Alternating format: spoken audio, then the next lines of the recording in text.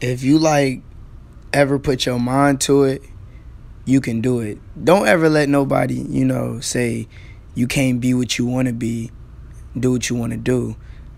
Just like ride your own wave. Don't try to ride anybody else's wave cuz you got here on your own, right? because like everything that's happening to you is you. You did it. you the king, not nobody else. So don't never ever let nobody try to knock you down or lowball you.